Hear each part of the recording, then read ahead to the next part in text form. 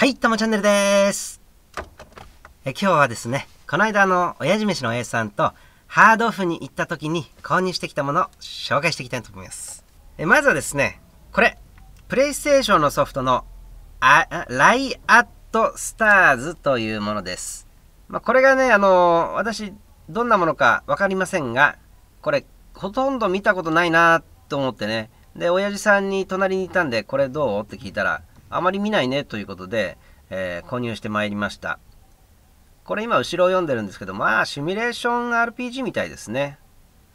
なのでね、えー、長くなんか遊べるような感じです。値段の方は税込み510円でした。はい、続きまして、えー、同じね、えー、ハードオフ、あ、これブックオフだ。ごめんなさい。こちら、ブックオフです。そしてこれもブックオフです。えー、ブックオフでね、えー、見つけたものです。はい、こちら。えー、順調でカレンメイ、メイマイ騎士団スペクトラルフォース。はい。これもね、あんまり見て、みな見たことないというかね、初めて見たもので、まあ、これもやっぱりね、これと一緒に、親父さんにね、これどう？って聞いたら、やっぱり見たことないよっていうことで、まあ、これも510円で、えー、値段ついていましたので、まあ、一緒に購入してまいりました。っていうか、これをこう探していた時に、親父さんがもうすでに、その時ね、手にごっそり持ってたんですよ。別の親父さんが買いたいものがね、ごっそり持ってたんですよ。それを見て、私もやっぱり、あ、こりゃ負けらんねえぞというね、えー、という その辺から、この辺をね、パッと見つけて、して見たこともないということで、え購入してまいりました。値段は確かに510円で、まあ、内容もわからないので、まあどうかなと思ったんですけど、まあレアなところをね、え、買いにして、それで買ってきました。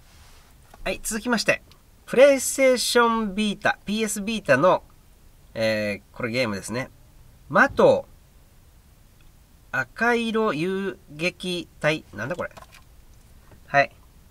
これです。はい、このゲームもね、とりあえず、うん、値段が安かったから、えー、買ってきたという感じで、別にどんなものかっていうのはわかんないんですけども、ただ、この後ろを見た時に、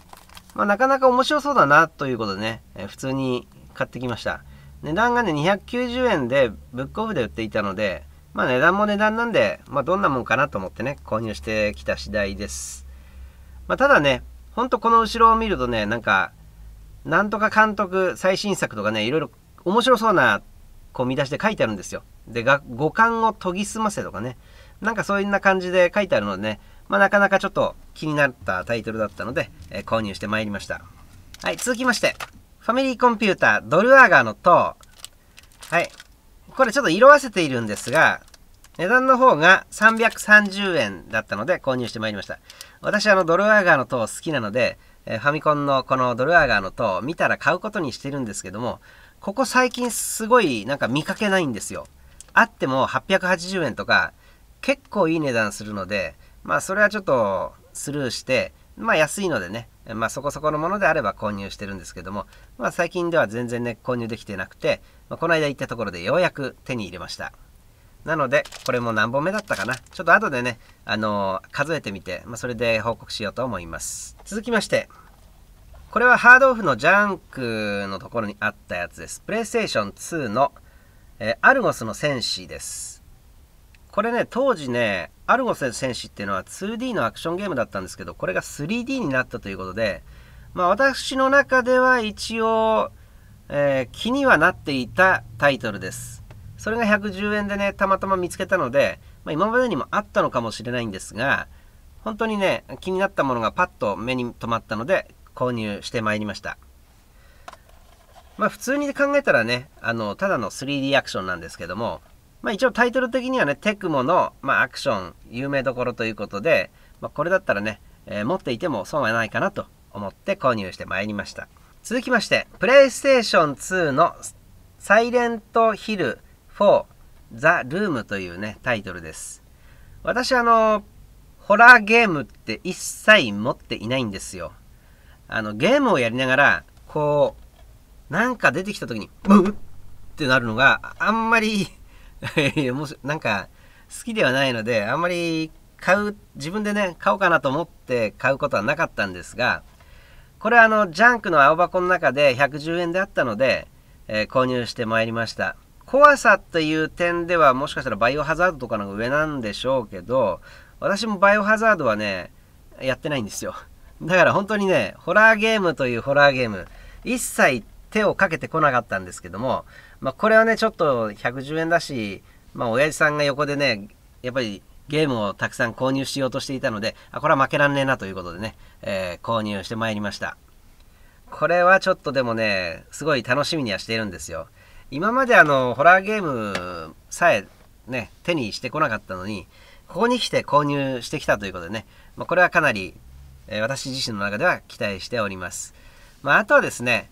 あの、親父さんが買って、それを見て、あ、今回は負けらんねえなと。まあ、そういったこともあって購入したものがあるので、もしかしたら一人でね、探しに行った時にはもう買ってなかったかもしれない。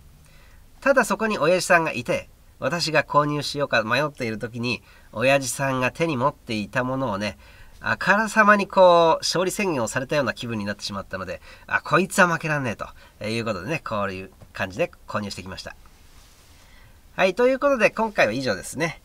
えー、まあ週に1回行くか行かないか、そして自分自身でもね、週に1箇所か2箇所ぐらい行くか行かないかなんですけども、まあ、こういったね、購入してきたものをね、まあ紹介したりするのも、まあ私の場合はね、いろいろと買っていますのでね、